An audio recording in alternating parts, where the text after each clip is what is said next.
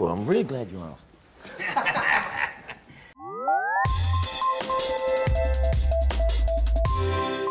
well, firstly, I, I, I, didn't want, I had no interest in really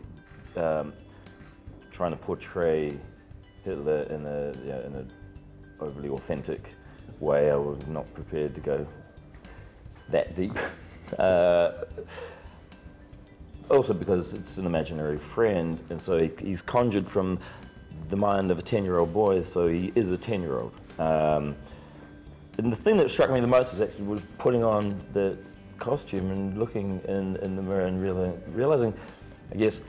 um, how childish and how immature a lot of like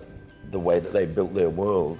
uh, was because if you look at the details on a lot of the, the uniforms and stuff, it's like lightning bolts on the belt buckles. There's like a skull and crossbones on their hats, and like, I mean they were like they had this sort of I guess this fantasy with like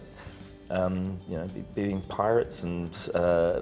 so it really it was like a make believe sort of thing, which was like a you know a boy's fantasy I guess um, when they were creating all that stuff. So it, it, that and it, it annoyed me a lot catching reflections of myself, and because it, I felt so ridiculous, um, and it did look ridiculous, and so that I've always felt it was like harder to be taken seriously when I was directing and talking to the crew dressed like that. But yeah, it, it, uh, on the other hand, it also helped uh, to belittle the this guy as well, to you know, to feel that ridiculous, and that it bolstered me a bit, I think, and you know, made me feel like oh we are still allowed to laugh at him because he did look like an idiot.